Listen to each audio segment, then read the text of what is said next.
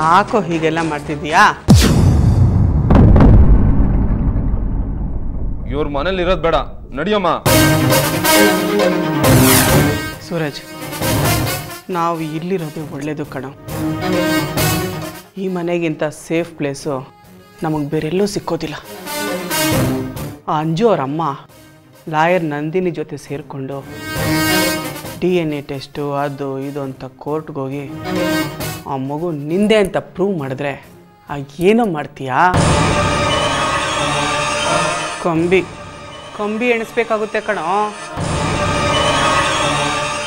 ಅದೇ ನಾವು ಈ ಮನೇಲೇ ಇದ್ದರೆ ರಾಮಚಂದ್ರಪ್ಪನವರು ನಮ್ಮನ್ನು ಬಿಟ್ಕೊಡ್ತಾರೇನೋ?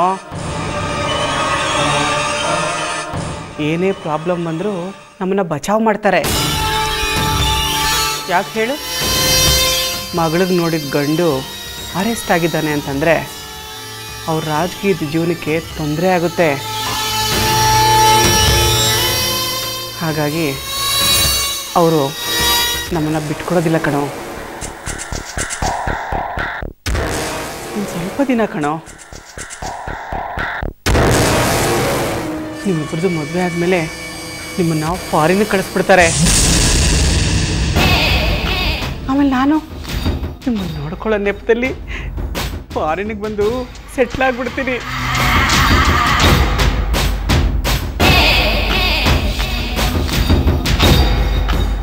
ಯಾರು ಮದುವೆ ಆಗ್ತಿರೋದು ಅವಳನ್ನ?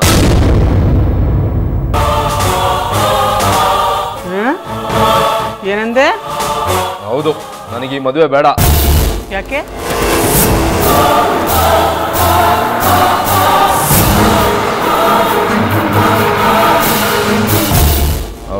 ಸೆಕೆಂಡ್ ಹ್ಯಾಂಡ್ಲು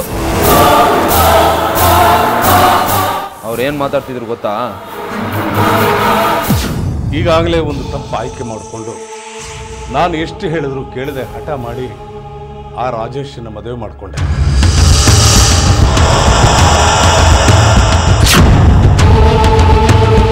ಆದರೆ ಅದರಿಂದ ಏನಾಯ್ತು? ಡ್ಯಾಡಿ ಪ್ಲೀಸ್ ಆ ಈಡಿಯಟ್ನ ನೆನಪಿಸ್ಬೇಡಿ. ಮಾಡೋಕ್ಕಾಗಲ್ಲ ಡ್ಯಾಡಿ. ಡ್ಯಾಡಿ, ಸೂರಜನ ನನ್ನ ಪ್ರಾಣಕ್ಕಿಂತ ಹೆಚ್ಚಾಗಿ ಪ್ರೀತಿಸ್ತಾ ಇದ್ದೀನಿ.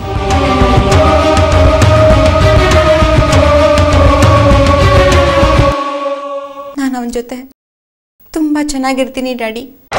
ನೀನು ರಾಜೇಶನ್ ಮದುವೆ ಆಗೋದಕ್ಕೆ ಮುಂಚೆನೂ ಇದೇ ರೀತಿ ಹೇಳ್ತಾ ಇದ್ದೆ. ಆದರೆ ಏನಾಯ್ತು? ಅವನ ಜೊತೆ ಸಣ್ಣ ಸಣ್ಣ ವಿಷಯಗಳಿಗೆಲ್ಲ ಜಗಳ ಮಾಡಿಕೊಂಡು ಡಿವೋರ್ಸ್ ತಗೊಂಡೆ.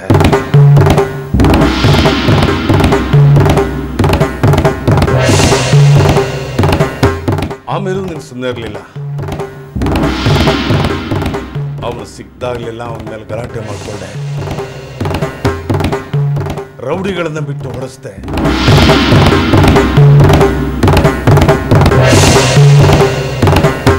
ಕ್ಲಬ್ಬು, ಪಬ್ಬು, ಡಿಸ್ಕೋ ಟೆಕ್ಗಳಲ್ಲಿ ಅವನ ಮೇಲೆ ದಾಂಧಲೆ ಮಾಡಿದೆ.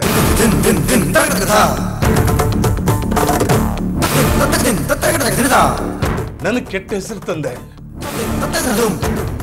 ಟಿವಿಯವರು ಪೇಪರ್ನವರು ಅದನ್ನೇ ದೊಡ್ಡ ಸುದ್ದಿ ಮಾಡಿ ನನ್ನ ಮರ್ಯಾದೆನ ಹಾಳು ಮಾಡಿದ್ರು.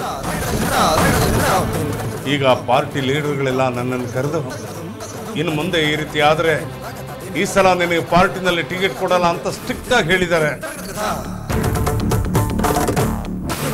ದಯವಿಟ್ಟು ಮತ್ತೆ ಮತ್ತೆ ಅದೇ ತಪ್ಪನ್ನು ಮಾಡಬೇಡಮ್ಮ. ಅದರಿಂದ ನನ್ನ ರಾಜಕೀಯ ಜೀವನಕ್ಕೆ ತೊಂದರೆ ಆಗುತ್ತಮ್ಮ. ಇದನ್ನೆಲ್ಲ ಬರೀ ರಾಜಕೀಯದ ಸ್ವಾರ್ಥಕ್ಕೋಸ್ಕರ ಹೇಳ್ತಾ ಇಲ್ಲಮ್ಮ. ನಿನ್ನ ಭವಿಷ್ಯದ ದೃಷ್ಟಿಯಿಂದ ಹೇಳ್ತಾ ಇದ್ದೀನಿ. ಸೂರಜ್ ಜೊತೆಯಲ್ಲಿ ಅನ್ಯೋನ್ಯವಾಗಿ ಜೀವನ ಮಾಡಮ್ಮ. ಸಣ್ಣ ಸಣ್ಣ ವಿಷಯಕ್ಕೆಲ್ಲ ನಿದ್ರೆ ಮಾತ್ರ ನುಂಗೋದು. ಬ್ಲೇಡ್ ತಗೊಂಡು ಕೈ ಕಟ್ ಮಾಡ್ಕೊಳ್ಳೋದು.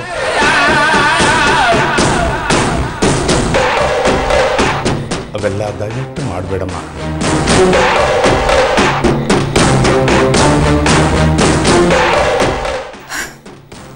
ಓಕೆ ಡ್ಯಾಡಿ ಆಯ್ತಮ್ಮ. ಈಗ ನನಗೆ ಸಮಾಧಾನ ಆಯ್ತು. ಆದಷ್ಟು ಬೇಗ ನಿಮ್ಮಿಬ್ಬರು ಮದುವೆ ಮಾಡಿ ಫಾರಿನ್ಗೆ ಕಳಿಸ್ಕೊಟ್ಬಿಡ್ತೀನಿ thank you so much daddy ಅಲ್ಲೇ ನೀವಿಬ್ಬರು ನೆಮ್ಮದಿಯಿಂದ ಸುಖವಾಗಿ ಜೀವನ ಮಾಡಿ. ಅವಳು ಸೆಕೆಂಡ್ ಹ್ಯಾಂಡ್ಲು ಓಹೋ ನೀನೇನು ಮಹಾ ಫಸ್ಟ್ ಹ್ಯಾಂಡ್ಲೇನೋ ನೀನು ಸೆಕೆಂಡ್ ಹ್ಯಾಂಡ್ಲೆ ಮರಿಬೇಡ. ಇನ್ನೊಂದು ಮದುವೆ ಬೇಕು ಅಂತ ಯಾರು ಕೇಳ್ತಿರೋದು? ನಾನೇನೋ ಕೇಳಿದ್ನಾ? ನಾನು ಫಸ್ಟ್ ಹ್ಯಾಂಡ್ಲಾಗೆ ಎದ್ಬಿಡ್ತೀನಿ.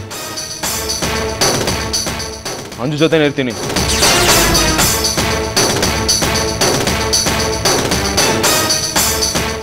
ಆ ರಾಜಿ ಯಾವ ಸೂರಜ್ನ ಇಟ್ಕೊಂಡು ನಿನ್ನ ಜೀವನ ಹಾಳು ಮಾಡಕ್ ನೋಡಿದ್ಲು ಅದೇ ಸೂರಜು ನಿನ್ನ ಜೊತೆ ಚೆನ್ನಾಗಿ ಸಂಸಾರ ಮಾಡೋದನ್ನ ನೋಡಿ ಹೊಟ್ಟೆ ಉರ್ಕೊಂಡು ನರಕ ಅನುಭವಿಸ್ಬೇಕು. ನಾನು ವಿಷ ಕೂಡ ಸತ್ತೋಗ್ತೀನಿ ಡ್ಯಾಡಿ. ನನ್ನ ಕೈ ಕಟ್ ಮಾಡ್ಕೊಳ್ತೀನಿ. ನಾನು ಮಾತ್ರ ಬದುಕಿರೋದಿಲ್ಲ. ನಂಗೆ ಸೂರಜ್ ಬೇಕು. ದೇವ್ರ ಚೇನಿದು ಅದಾಗಲಿ ಇವ್ರು ಹೇಳ್ದಾಗೆ ಆದಷ್ಟು ಬೇಗ ದೇವಸ್ಥಾನದಲ್ಲಿ ಮದುವೆ ಮಾಡಿ ಮುಗಿಸೋಣ.